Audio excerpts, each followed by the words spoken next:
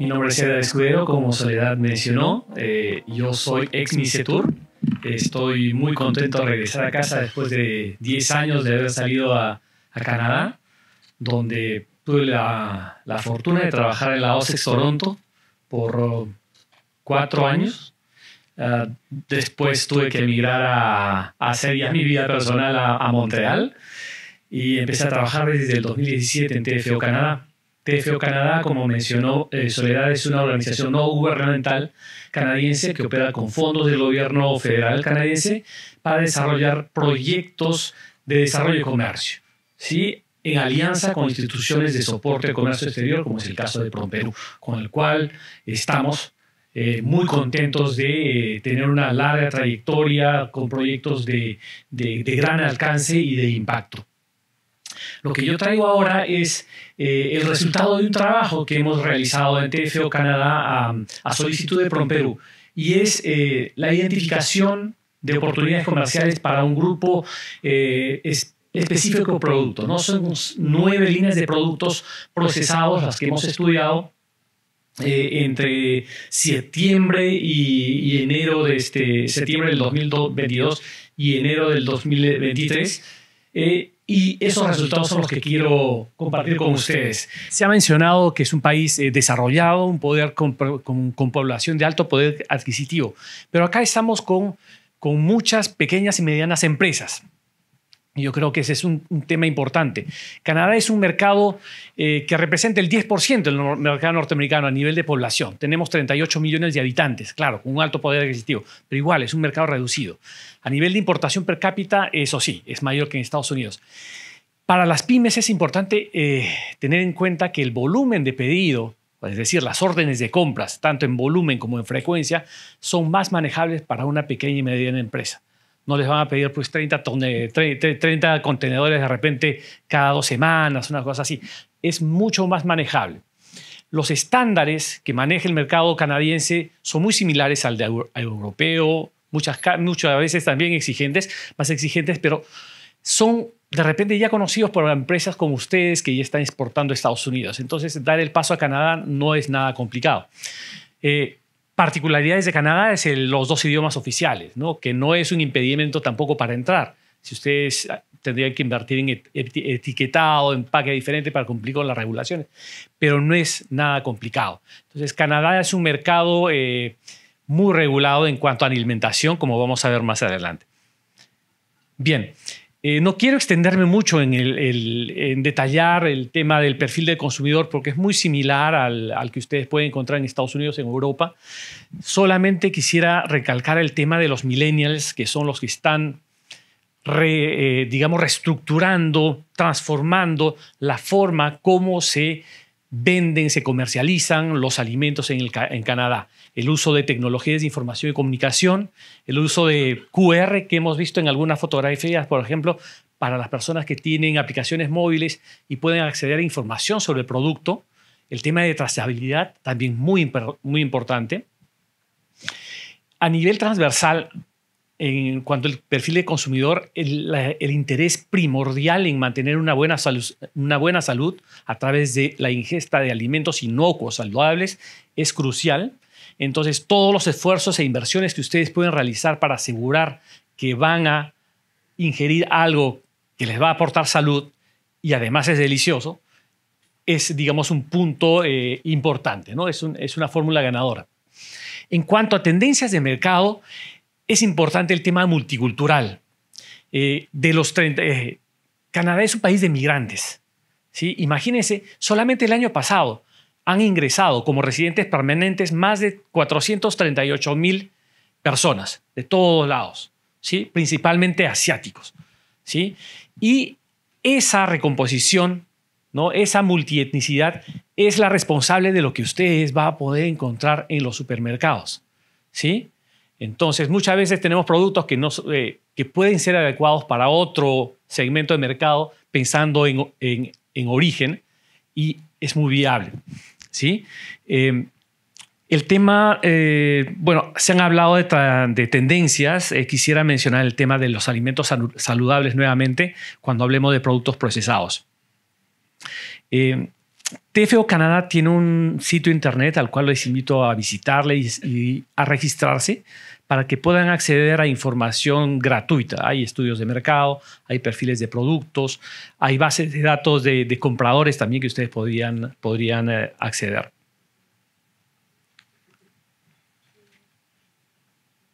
Bien, las características del mercado, es, hablando siempre en cuanto a alimentos procesados. Canadá es un, es un gran exportador de alimentos procesados. Es un país que en líneas generales guarda un perfil bajo respecto a lo que hace. Pero si ustedes se van a Europa, Asia, seguramente van a encontrar en, Corea del Sur un kamchatán congelado, por ejemplo, hecho en Canadá. O si se van a Europa van a encontrar un chicken korma congelado, canadiense.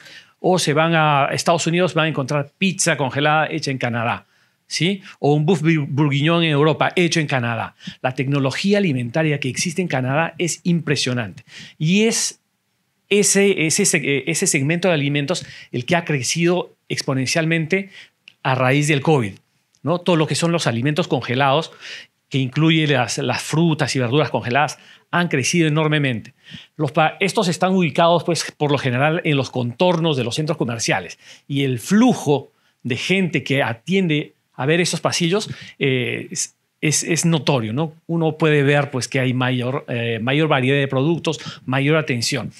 Y esto a nivel transversal, tanto en las tiendas de alta gama como, en las tiendas, tiendas de descuento.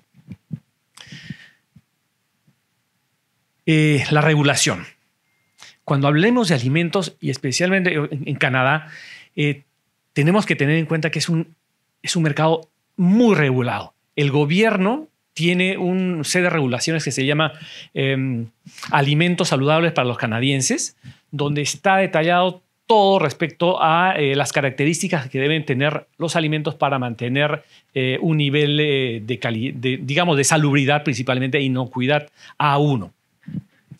Son tan exigentes las regulaciones que, digamos, la responsabilidad, si algo ocurre debido a la ingesta del producto, digamos, eh, lastima a los consumidores, se ordena un total recall y hay alguien que tiene que hacerse responsable. ¿sí? Y el que es responsable ante el gobierno canadiense por daños y perjuicios contra la salud de la población es el importador. No son ustedes. Los exportadores no tienen nada que ver. Entonces, ¿qué va a hacer el, el importador canadiense? Les va a exigir a ustedes eh, certificación. HACCP es el, es el estándar. HACCP es el estándar. Si, si no tienen HACCP, pero tienen otra, ah, digamos, otra, otra certificación de buenas prácticas, menciónenlo. ¿sí? Pero si tienen HACCP, tengan la seguridad que ya están ya con un checklist ahí. Si tienen Global Gap, mucho mejor. Muchas empresas, a lo largo de mi experiencia de 10 años en Canadá, haciendo promoción comercial, me, decían, pero certificación es tan complicado, es, es, es muy pesado. Pero bueno, Así es, si quieres entrar a Canadá con alimentos, tienes que asegurar la inocuidad y trazabilidad. Sin esos dos, eh, es muy difícil. Yo he encontrado unas cuantas empresas que me han dicho, ¿sabes, Edgar? Si no tiene HACCP, no importa. Nosotros tenemos un protocolo para asegurarnos que el producto cumpla nuestros estándares y sea inocuo. Pero son contaditos con los dedos. No son todos. Entonces, eh, para asegurar el ingreso de sus productos, necesitan certificación que garantice inocuidad.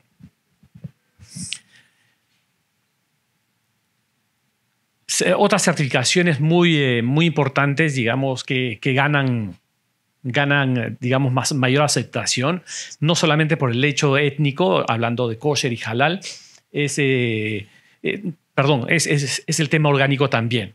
¿sí? nuevamente, la tendencia de comer saludable y de brindar garantías al consumidor de que en realidad eso, eso tiene, tiene, es, es inocuo, es sano, es tener una, es una, eh, contar con una certificación orgánica. La certificación orgánica puede ser la de Estados Unidos, puede ser la, de Europa o puede ser la canadiense. ¿no? Eh, hay un estudio que se ha hecho en Canadá y respecto a qué sello orgánico transmite mayor confianza al consumidor canadiense y ciertamente es el sello canadiense, pero eso no es excluyente. Funcionan también eh, la certificación orgánica, orgánica para Estados Unidos y Europa. Eh, la creciente demanda por alimentos frescos. Esto que ven acá aquí, que tenemos acá, alcachofa. Eh, TFO hizo, bueno, realizamos un estudio de mercado justamente acerca de alimentos procesados, ¿no? viendo el tema de los productos enlatados. Y estos productos enlatados tienen una franca caída. Está, la tendencia es realmente eh, es decreciente. ¿Por qué? Nuevamente, productos saludables. El tema de reforzar el sistema inmunológico, el tema de, digamos, tener nutrientes naturales. Todo eso ha, impulsado la demanda y el consumo de productos frescos, frutas y verduras frescas. Y en ese sentido, el tema de pesticidas es crítico. ¿sí? A ustedes les van a exigir su certificado, eh, sus specs, ¿no? pero también un certificado. Ellos pasan el producto por laboratorio y si encuentran rastro de pesticidas, eh, tengan seguro que ese va a ser un gran obstáculo. ¿sí? Entonces, manejar buenas prácticas es, es, es crucial. Eh, Soledad mencionó, por ejemplo, el, eh, el, proyecto que estamos trabajando para CPMA. Vamos a llevar a Canadá 10 empresas. Y hay una empresa, por ejemplo, que, que produce pitahaya y que ha desarrollado un ecosistema en el cual no utilizan eh, agroquímicos, utilizan, digamos, productos naturales y utilizan las abejas para reforzar el tema de la producción y la polinización. Ese es el tema, este es, ese es algo crucial. Hay un manejo propio del producto que garantiza la inocuidad, pero también hay una historia detrás, de la cual hablaban antes eh, los expositores. ¿no? Toda esa información es válida para mostrar al, al, potencial cliente que tenemos el producto que busca y que también es sano. A nivel de mm, los canales de comercialización, Canadá es, eh, es un mercado consolidado en el cual prácticamente tenemos cinco empresas que, manejan el 75% de las ventas en, eh, eh, en Canadá. Eh, son, aquí, ahí tienen el grupo Loblos, tienen el grupo Empire con Sobis y el grupo, y el grupo Metro, que son los principales, pero también está Costco y, Walmart. Los cinco, los cinco tienen tiendas de diferente gama, de alta gama y de las tiendas, tiendas de descuento. Esta, por ejemplo, de acá es es una tienda que, mm, este es del grupo Loblas, es, un, es un paque muy simple, el no name, es la marca de la casa, pero es el, empaque más económico que tiene. Lo pueden encontrar en, en Provigo, en Loblos o lo pueden encontrar en Maxi.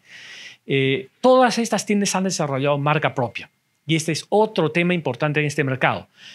Eh, están ganando mayor preferencia. ¿no? En lugar de comprarse eh, aceitunas pícalos, se compran pues la, aceituna con la marca de la casa, que tiene menor precio y es el mismo producto. ¿sí? Eh, es importante ver también eh, cómo estas empresas están creciendo, adquiriendo pequeñas, eh, pequeños retailers exitosos. Ahí ven, por ejemplo, debajo de, debajo de Sobis, no, vamos a ver, debajo de Metro ven Adonis. Adonis era una tienda, es una tienda retail enfocada al, al mercado del Medio Oriente, ¿sí? que empezó a crecer, empezó a crecer y desarrolló. Así es que la adquirieron y solamente Adonis ellos manejan más de, si no me equivoco, más de 300 mil líneas de producto. ¿sí? Y siguen creciendo. Y esta tienda, por ejemplo, está incorporando productos latinoamericanos y es una puerta de ingreso también para, para productos peruanos si se trata de, étnicos. ¿no? He encontrado yo la cancha, el maíz morado, cosas así. Pero eh, los canadienses, hablando del consumidor, eh, me lo mencionó eh, Soledad, están deseosos de probar nuevos sabores, nuevas texturas y ellos acuden a Adonis, acuden a tiendas étnicas TIT, por ejemplo, es una tienda étnica eh, que nació en Vancouver y es de productos orientales, básicamente chinos. Fue adquirida por Loblaws, pero TIT ya incorpora productos latinoamericanos. Entonces, los canales de, de, comercialización son amplios y están recibiendo cada vez más un mayor número de productos procedentes de diferentes mercados. Bueno, ahí pueden ver un poco de información estadística respecto al, tamaño de mercado, ¿sí? Em, lo que quisiera que ustedes vean es cómo está repartida, repartida, la torta, quiénes son los principales proveedores de Canadá en cuanto a alimentos procesados. Estados Unidos, China, México, Brasil, Italia también. Eh, ¿Dónde estamos nosotros? Nuestra participación no es significativa. Como número es terrible, ¿no? Es 1.4 nada más pero eh, destacamos en, líneas de producto. En cuanto a espárragos frescos y procesados somos los número uno. En castaña somos, en la castaña, perdón, en la, eh, sí, la castaña, el nuez de Brasil, somos, somos los, éramos los primeros, ahora somos los segundos, ¿no? Nos está, nos está dando la vuelta eh, Bolivia, ¿sí? Eh, pero hay oportunidades y de eso vamos a conversar más a detalle. ¿Por qué Estados Unidos, por qué México son nuestros principales competidores? Bueno, tienen el NAFTA y la cercanía eh, geográfica hace que eso haga una gran diferencia. Incluso en productos eh, que ya vienen listos para el consumo, como son los néctares en envases de vidrio, ¿no? donde el mayor peso es el, es el empaque. ¿no? Eso, eso sería prácticamente muy difícil o inviable llevar pues en empaque de vidrio para venderlo al consumidor desde el Perú. Los costos serían altos, pero allá sí es posible por la cercanía. ¿no? China con sus economías de escala sí es, eh, es fuerte. China compite en precio fuertemente. Hablemos un poco de este estudio de, identificación de oportunidades y donde yo quisiera hablar con detalle y, recibir también las preguntas de ustedes, si es posible. Eh, ¿Qué es lo que hemos hecho nosotros? Eh, para identificar estas oportunidades y para cerciorarnos que de repente hay una ventana para nuestros exportadores, lo que hemos tenido que hacer primero es una revisión eh, estadística intensa, en fuentes canadienses, en fuentes internacionales también. Luego verificar qué estudios previos se han realizado. ¿no? mencioné el estudio del TFO, hay un estudio de alimentos orgánicos por la Asociación de Comercio Orgánico de Canadá, ¿sí? Eh, la Asociación de, Retailers también tiene estudios actualizados. He mencionado, he, colocado algunos slides ahí. Eh, hay un estudio de precios también interesantes de, de la Universidad de Guelph, la Universidad de British Columbia, y, tienen un tanto importante. Los precios de los alimentos en Canadá están subiendo. La proyección de precios para el 2023 era un 7% adicional. Y esto no es nuevo. Los alimentos frescos en Canadá son caros. Eh, por ello no se paga IGB. Cuando ustedes compran un mango, el mango no paga IGB en Canadá. Todos los productos frescos no. Pero los procesados sí. Los procesados sí pagan impuestos. Eh, entonces, el canadiense, el consumidor, cuando ellos sienten esto. Yo soy un consumidor y pues si me voy a, a que es la tienda más, más cara, con 100 dólares no hago nada. Tengo que irme a Maxi, donde puedo llenar un poco el carrito. Entonces, el consumidor canadiense, a pesar de que tiene alto poder adquisitivo, no es tan, eh, tan, tan loquito como para comprar y llenar su carrito con 500 dólares. Eso no sucede muy a menudo, ¿no? salvo con la gente de altísimo poder adquisitivo. Buscan a bang for the buck o sea, quieren el mejor, eh, quieren sacar el jugo a cada dólar que invierte. ¿sí? ¿Cómo compro un canadiense normal? Eh, yo, peruanito, porque estoy ahí, yo compro, corro con, a, la tienda que está, pero mis amigos me han enseñado que no, que no estoy haciendo bien. Oye, ¿ya te has bajado la, la aplicación Rivi? Ah, ¿cuál es eso? Ah, ok. Esto te va a decir qué cosa hay en especial, qué está en especial en las tiendas. Ok, solamente ve y compra lo especial.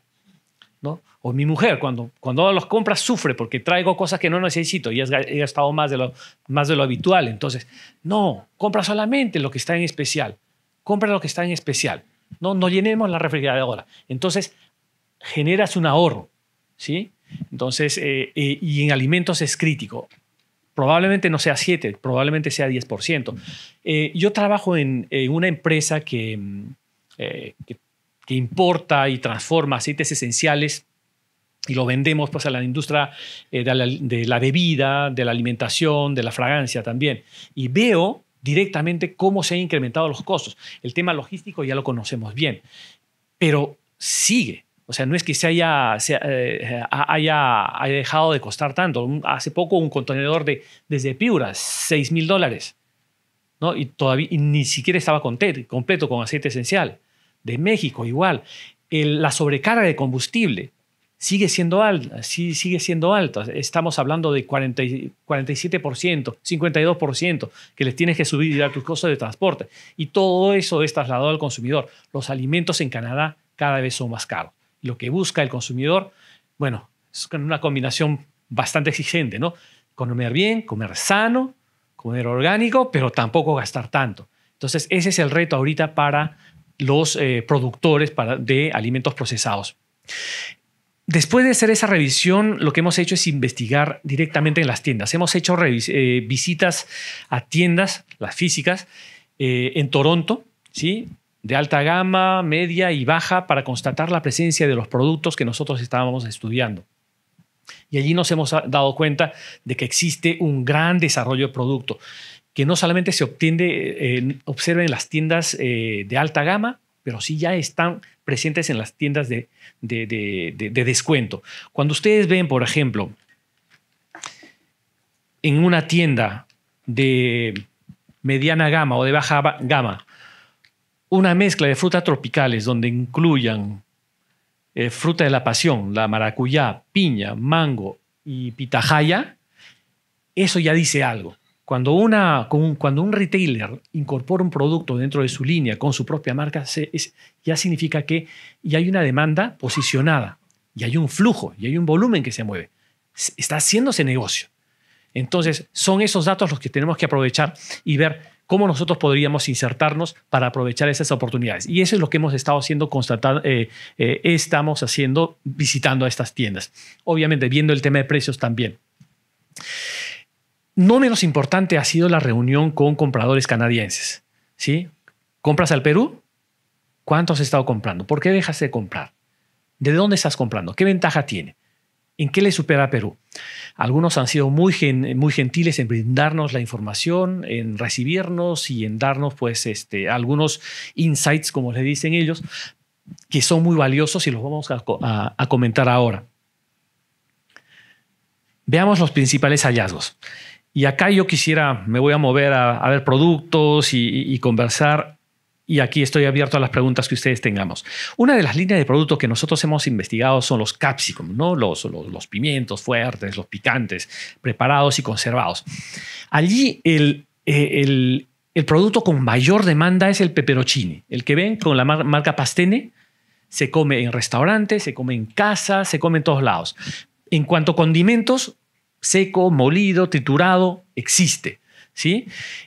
Las salsas. Bernardo presentó la sriracha, también se come en Canadá. Y hay una gran cantidad de salsas que, que, son diferentes, vienen de diferentes países, hechos en Canadá con producto importado también. Entonces, hay un gran desarrollo de producto eh, de pastas y salsas en Canadá, que vale la pena tomar en cuenta si ustedes están tratando de desarrollar el producto. Eh, los jalapeños, no solamente por eh, los consumidores mexicanos, este es un producto que ya se ha, eh, ya se ha consolidado, ¿sí? Eh, los pimientos dulces, marinados, ¿no? también son muy importantes. ¿Qué tanta oportunidad hay para Perú? Hay oportunidad, pero exigiría un gran, gran esfuerzo de promoción y desarrollo del producto. Vender un producto procesado no es lo mismo que vender un producto fresco. El producto fresco es, es mucho más estándar. Ahí, obviamente, hablando de mango, por ejemplo, eh, habrá que cumplir las especificaciones técnicas del producto respecto a calibre, respecto a grado BRICS, etc. Pero cuando se, se trata de un producto procesado, donde intervienen ya ingredientes, preservantes, todas estas cosas, y más aún gustos y sabores, hay que ver si cumple las necesidades del cliente, ¿no? Si da, si hace el match con, los gustos y preferencias del mercado. Nuevamente, cuando, como decía Soledad, el cliente final, ¿no? Es el más importante. Si nosotros no hacemos el match, esto no se va a vender. Aquí, eh, como, como, les digo, em, todo lo que sean productos que tengan que ver con la dieta mediterránea, son productos que ya están, digamos, bien capturados por eh, importadores y distribuidores en Canadá. Eh, pues ah, Pasten es uno, Único es otro, Crinos es otro, podríamos seguir mencionando que tienen más de 20, 30 años trabajando y tienen un grupo de productores que les proveen. A veces compran spot, es decir, les falta producto y necesito proveerme, a ¿tú qué tienes? ¿Cumple? Ok, hacemos negocio. Pero normalmente son contratos de uno o dos años con un, eh, un, programa de, de, envíos, eh, digamos, mensuales o semanales, depende del volumen y las necesidades que tengan. Hortalizas en conserva. Bueno, acá vamos a hablar de la, aceituna también, pero quisiera empezar con el espárrago. El espárrago a nadie nos gana allí, ¿no? Pero, ojo, no nos podemos dormir en los laureles porque la, producción eh, local se está incrementando, ¿sí? Eh, a raíz del COVID, todo esto eh, ha habido un impulso del gobierno canadiense para que se promuevan los productos locales. ¿No? porque los productos, las empresas locales han sido muy golpeadas. Hay espárrago blanco, hay espárrago verde canadiense. ¿sí? Hay, se está comprando un poquito más de Chile, de España siempre viene. ¿sí? pero aún así nosotros somos, somos fuertes. El tema de los enlatados, como les digo, está en declive, más van a encontrar producto fresco. ¿sí? Los calibres delgados y medianos. Los gruesos no, no tanto. Blanco y verde, genial. Eh, con los olivos. Eh, fue curioso porque eh, fui a, Crinos, por ejemplo, que es uno de los más grandes importadores y, distribuidores de, olivos allí en, en Canadá, y me decían, ¿qué? ¿En Perú hay olivos? Sí, le digo, cuando llegaron los españoles, llevaron los olivos, los primeros olivos empezaron a producir en el Perú. Sí, también tenemos aceite de olivo. ¿En serio? No nos conocen. ¿Y eso qué significa? Que hay que hacer un gran esfuerzo de promoción. Pero ese, esfuerzo de promoción no puede ser eh, en solitario, tiene que ser en tándem.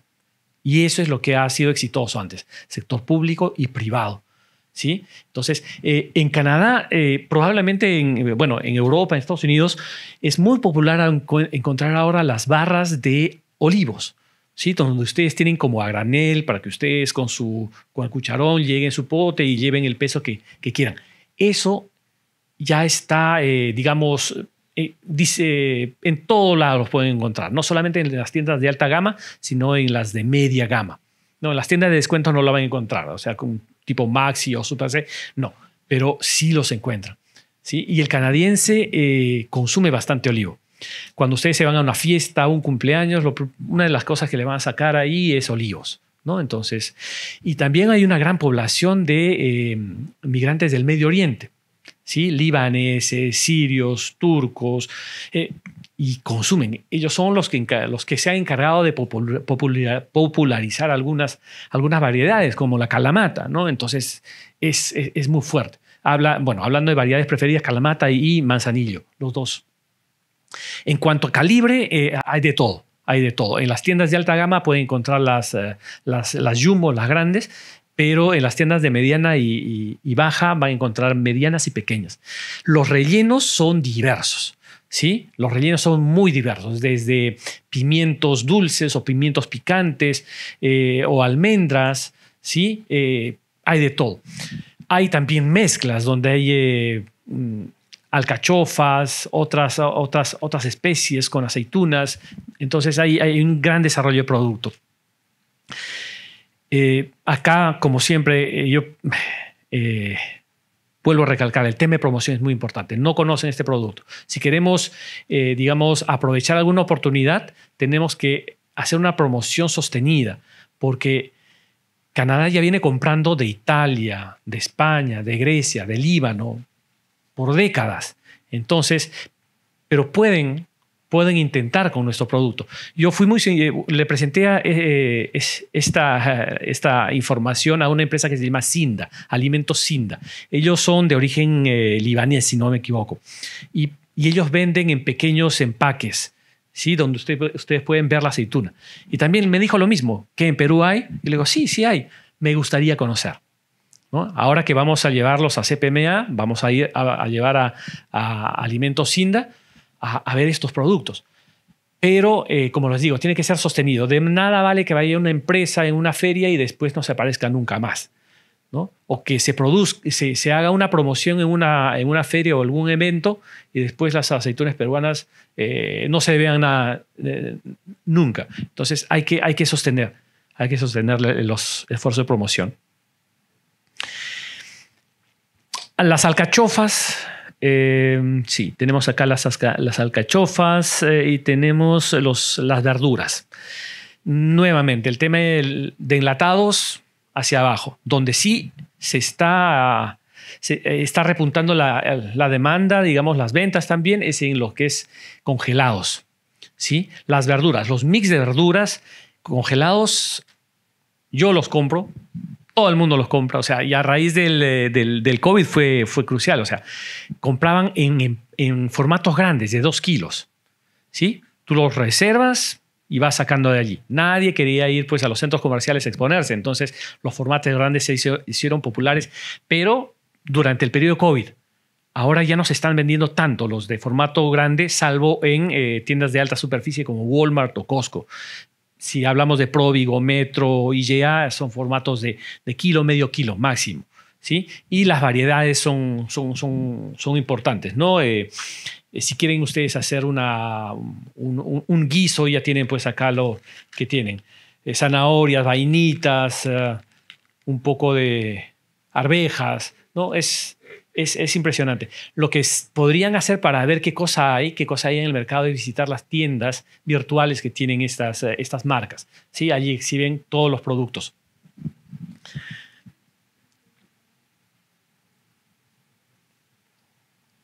Las frutas preparadas y, en conserva, nuevamente el tema de enlatados hacia abajo, pero el tema de, los, eh, de las frutas en conserva en vidrio está teniendo acogida pero no en todas las tiendas. ¿sí? Esto lo van a encontrar en tiendas de alta gama tipo Pusateris o Sask, ¿no? y en las tiendas más, más, ah, más importantes de cada marca, tipo eh, Loblos o IGA o el mismo Metro.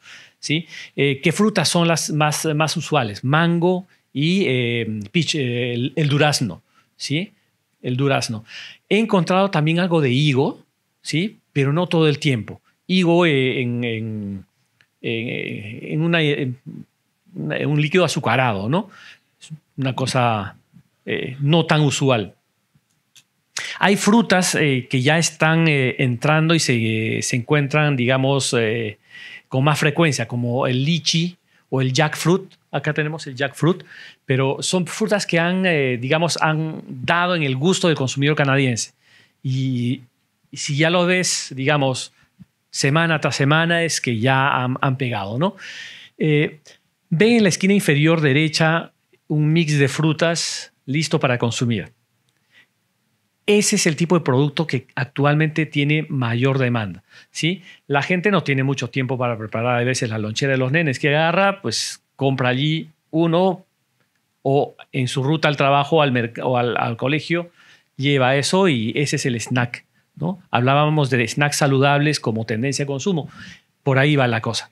No tanto por, el, eh, por los envasados. ¿sí? Los envasados, cuando tienen harta demanda en festividades, por ejemplo, eh, cuando viene la Navidad y necesitamos preparar nuestro, nuestro pavo y necesitamos las piñas en rodaja, en lugar de comprar una piña tremenda, pues eh, abrimos una lata y ya está. Lo mismo con los duraznos o con otras frutas que sirvan para, eh, desarrollar alguna preparación especial. Los mix de, verduras eh, también son, son, son muy populares, pero yo diría que el mango acá tendría eh, un gran potencial, pero en envase de, vidrio.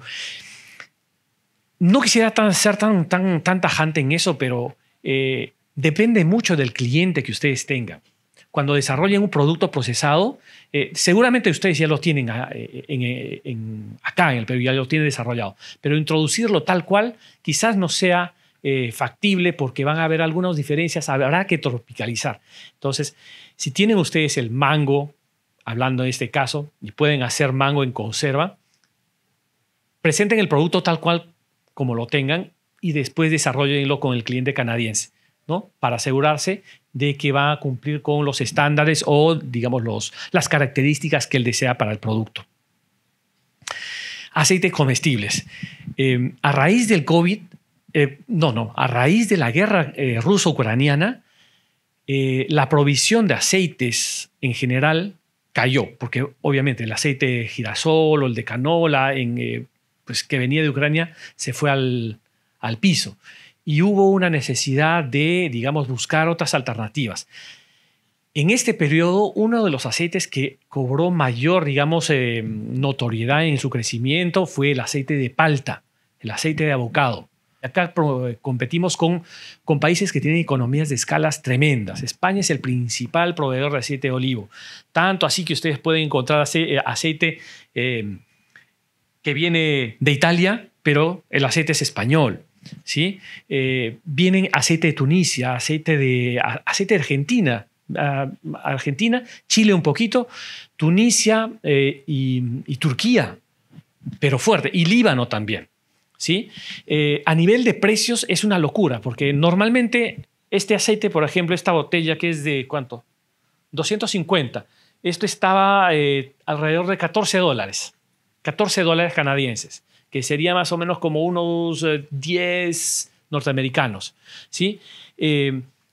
pero esto es un aceite con infusión. ¿sí? Es un aceite infusión. Si hablamos del aceite extra virgen, Normalmente el precio del litro lo pueden encontrar entre 11, 14, 8 hay veces, pero de vez en cuando lo encuentras a 6 dólares. Y tú no sabes cuándo viene esa oferta. Entonces, eh, es, un reto, digamos, ser competitivos acá. las empresas que quieran exportar a Canadá aceite de olivo regular, sin ninguna diferenciación, tengan por seguro que la batalla va a ser de precios. Calidad, yo creo que estamos a la par o de repente superior, pero precio va a ser muy, muy, muy fuerte. ¿sí? El aceite de Sachainchi. Eh, yo estuve en la OSEC Toronto desde el 2013 y desde esa época estábamos introduciendo el aceite de Sachainchi. Es una demanda que, como vieron las estadísticas, este, no ha despegado, se mantiene estable. Sigue encontrándose este aceite básicamente en tiendas, eh, digamos, de alimentos saludables, tiendas orgánicas como como Abril, ¿no? Esta es una tienda de alimentos orgánicos eh, y naturales en Canadá. Eh, de vez en cuando podrías encontrarlos en un Loblaws o un Pusateri, pero eh, básicamente son tiendas especializadas. Acá nuevamente con el Sacha Inge se necesita un esfuerzo de promoción mayor, intenso, para dar a conocer las bondades de este aceite. ¿sí?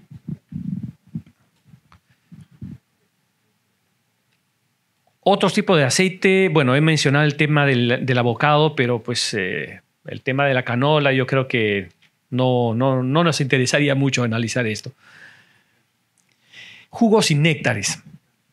Nuevamente, con el tema de alimentación saludable, uno de los productos que ha tenido una caída tremenda en cuanto al consumo es el jugo de naranja hecho de concentrados. ¿sí? Y, eso va, vale también para el jugo de arándanos de concentrados. Todo lo que tenga que ver con concentrados, porque estos van a tener eh, algún ingrediente artificial, preservantes, otras cosas, la demanda está bajando. Y otra vez, que está subiendo son los jugos naturales. Pero acá eh, tenemos una producción local muy fuerte en el tema de, los arándanos, por ejemplo, los berries en general. Hay, hay néctares y jugos de mezclas ¿sí? Y la que viene también de Estados Unidos es muy fuerte. Eh, no, eso no significa que no haya oportunidad, ¿sí? Pero tendríamos que diferenciarnos. ¿Qué vamos a ofrecer adicional? Generamos una mezcla diferente, eh, lo hacemos orgánico de repente, ¿sí? O eh, trabajamos de repente se me ocurre, vemos el tema de la alimentación keto, ¿a qué segmento nos, ubicamos? Acá va, va a determinar, digamos, el éxito en la identificación del segmento y, en la identificación de nuestro cliente. ¿sí? El aceite naranja sigue igual fuerte, aunque los precios se han, incrementado fuertemente. Normalmente un, juego de naranja de dos litros y medio son 7 dólares, pero lo hemos encontrado hasta 9 dólares últimamente. Y eso es por las eh, los, huracanes que, destrozaron las plantaciones de naranja en Florida, México también con las plantaciones de naranja que, que a raíz del greening disease y las sequías, pues ha mermado la producción. Em, lo que sí hay es esto. No sé si ven acá, son los shots. Eh, acá yo traigo, un shot de, de, de jengibre, 19 dólares. 60 mililitros. 60 mililitros. Y esto es hecho de jengibre. Y Perú es uno de los principales proveedores de jengibre en, Canadá. ¿Sí? Y así como estos tienen, tienen de diferentes, eh, de cúrcuma o, de mezclas. ¿sí? Pero nuevamente, no todos te van a comprar una botellita de 60 mililitros a, 10, a 15, 19 dólares. Nuevamente, es un segmento de mercado. que tenemos que hacer acá es, es buscar, es identificar al cliente quién está vendiendo esto, quién está comercializando esto y ofrecerle, mira, yo tengo algo, algo, algo similar o mejor. Probémoslo. ¿Sí? Y eso toma tiempo y, nos, y, y ahí hay que tener temple, hay que tener fortaleza, hay que, tener, hay que ser perseverante. O sea, un, un negocio de, de, procesados hay veces puede tomar un poquito más tiempo que el, desarrollo de, una orden de compra de producto fresco. Eh, hay una empresa peruana, no voy a mencionar el nombre, pero voy a mencionar el nombre de la empresa canadiense, estaba desarrollando una mermelada sobre la base de eh, super, superalimentos, superfoods, superfoods peruanos en una mermelada. Y eso fue el 2018. Siguen, eh, siguen desarrollando el producto, siguen desarrollando las conversaciones. ¿Se dan cuenta? O sea, es así, es así. Hay que, hay que ser perseverantes y, y lo otro, esta empresa canadiense, por ejemplo, Grace Foods, no provee solamente a Canadá. Cuando hace negocio y encuentra un producto, los vende en Inglaterra, los vende en el Caribe y los vende en Canadá. ¿Sí? Eh, una empresa que, con la cual estábamos trabajando el tema de la, de la maca. ¿Sí? La empresa se llama Terflow y esta es una empresa que fue fundada en los 1800 eh, en Europa, después se, eh, abrieron la sucursal en Canadá. Están desarrollando una mezcla de proteínas donde la maca es uno de los componentes. ¿sí? Y eso fue también el 2018. La empresa peruana fue a visitarlos el 2019. La última vez fue en el CHF en, Vancouver. Y siguen conversando. Pero el día que desarrollen el producto, como mencionaron antes, entra al fast track, ¿no? Y ese es el tema con los, eh, con, los compradores canadienses. Cuando encuentran un buen producto, un buen proveedor y es consistente en temas de calidad, inocuidad, principalmente en esos dos, avanzan, vienen las órdenes de compra. ¿No? Yo lo veo en la empresa donde trabajo. Hay veces por el tema de la misma situación, la guerra en Ucrania, los temas logísticos, los precios suben y tenemos que pagar un precio más alto. Bueno, hay que pagar el precio de mercado. Y eso es lo que hacen las empresas canadienses. No saben que es un mercado pequeño, que compiten por el producto y están dispuestos a pagar un poco más. Pero hay que ser consistentes, hay que ser serios, hay que ser, eh, eh, eh, bueno, hay que perseverar en eso, ¿no? La calidad, el precio, la competitividad. Ok. barras de energía. Acá la competencia es durísima, durísima, tenaz, como dirían los colombianos. Acá tienen una gran variedad Sí, y yo los invito a, ver eh, algunos ejemplares que he traído acá, donde van a ver la variedad y la sofisticación en la composición y la oferta de, los productos. ¿Qué cosa es la tendencia acá? Proteínas de origen vegetal, ¿sí? Eh, energía. En cuanto al empaque, a simple vista ustedes van a ver la composición y los beneficios que van a tener en la ingesta de este producto. ¿sí? certificaciones, orgánico, eh, keto, sin gluten, ¿sí? y los precios no son tan, tan baratos. Una barrita de estas está alrededor de 4 dólares. Una barrita. Mientras por 4 dólares ustedes se pueden comprar un empaque de 6 barras convencionales. ¿sí? Pero el mercado está funcionando, se está moviendo. Y hay un segmento de mercado pues, de personas preocupadas por la salud y de la eh, fortaleza física que están demandando esto y son capaces de pagar ese precio. Si ustedes están en el negocio de barras energéticas, conversemos, ¿sí? Conversemos y acá, acá, hay, acá hay un potencial, pero hay que trabajar duro el desarrollo del producto. Nuevamente, acá contactar al, potencial cliente y desarrollarlo. Cumple con tus estándares, funciona, te gusta y se mueve hacia adelante. Snacks estos son los que han crecido más. Yo creo que acá hay una oportunidad franca para, para todos los que, las empresas peruanas que desarrollen frutos secos y nueces. ¿sí? Son los que más han crecido. Eh, la gente que trabaja en, en casa eh, suele, ah, eh, suele, suele comer seis veces estadísticamente seis snacks durante el día y normalmente son frutos secos, nueces, cosas saludables. Me dicen que tengo poco tiempo, así que me voy a apurar un poquito. Em, piscos. Bueno, en pisco solamente en Canadá, pisco chileno, pisco peruano. Lamentablemente Chile vende pisco porque negociaron eh, eh, tempranamente el acuerdo de libre comercio, incluyeron el pisco y ahí está. Chile ya, ya vende un pisco transparente, se parece al peruano, ¿sí? es un producto totalmente diferente. Si ustedes están en el negocio del pisco, necesitan un agente, definitivamente necesitan un agente, porque hay que estar allá. Eh, eh, desarrollar las relaciones con el, cliente, que en este caso en Toronto es el SBO, les voy a explicar después, y también monitorear cómo va la demanda, porque el pisco peruano lo consumimos solamente peruanos y los restaurantes peruanos. Y hay que hacer un esfuerzo de promoción en los bares, restaurantes canadienses, ¿sí? Hay que hacer un esfuerzo de promoción sostenido.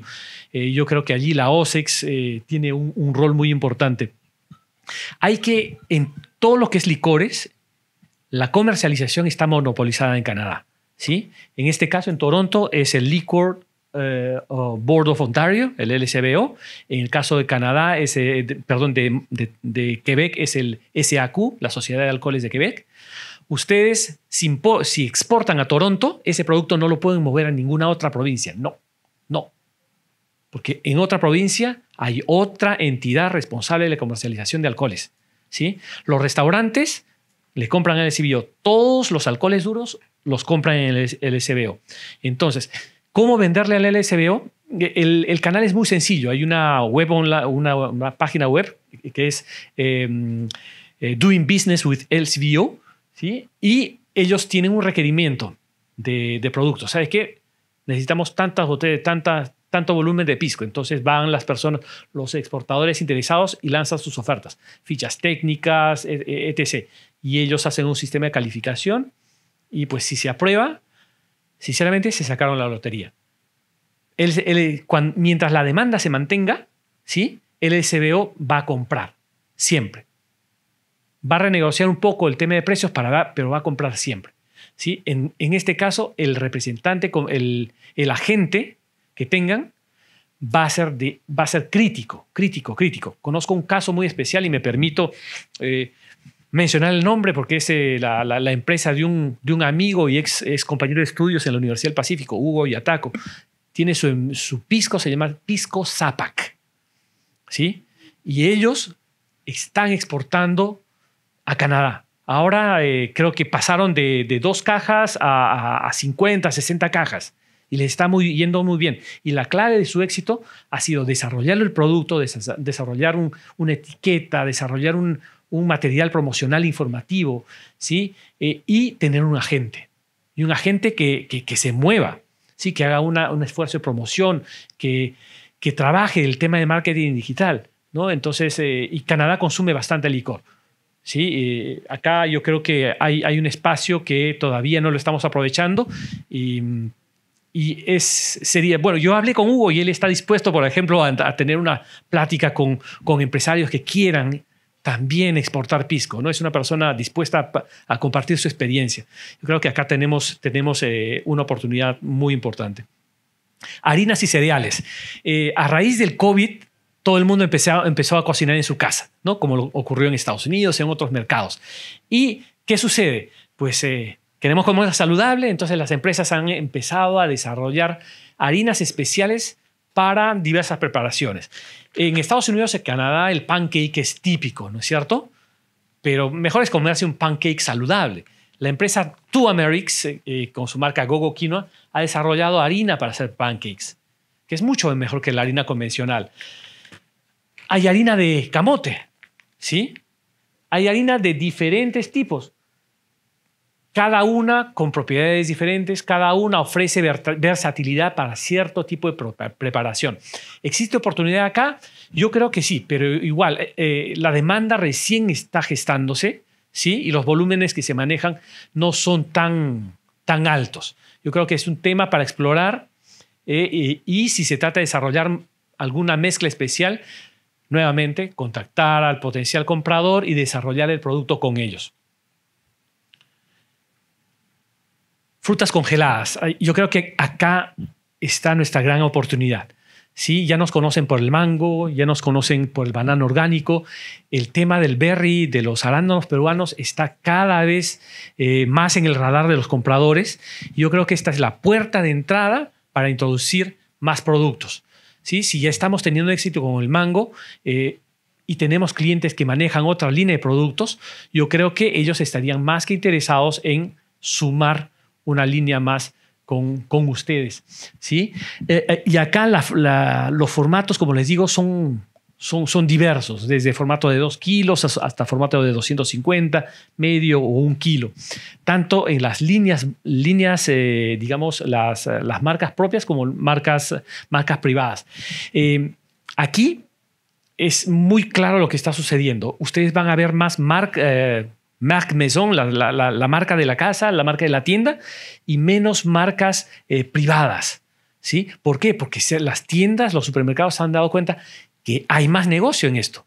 ¿sí? Entonces, eh, acá lo que hay que hacer a través de las oficinas comerciales, la oficina comercial es ver la forma de tener al comprador de Loblaws, al comprador de Metro, al comprador de Sobis, ¿sí? para presentarle la oferta peruana de frutas y verduras congeladas. Sumo el tema de las frutas con las verduras congeladas acá. ¿sí? Eh, en esta misma línea de producto, el tema de las pastas, los purés, es muy importante. ¿sí? Ha habido una explosión tremenda en la variedad de productos orientados a la, a la nutrición de bebés. Pero aquí el reto es que tiene que ser 100% orgánico. Ninguna mamá allá va a querer meterle algo a la boca que no sea sano ahí a, su bebé. Yo creo que todos, igual acá. Pero, eh, digamos, ese es el estándar. Alimentos para bebé, los purés, tienen que ser orgánicos. Tienen que ser orgánicos.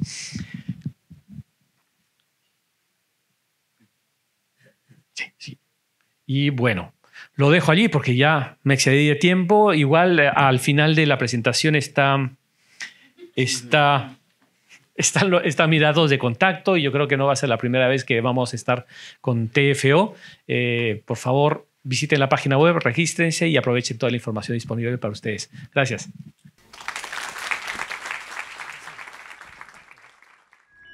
Bicentenario del Perú 2024. Gobierno del Perú.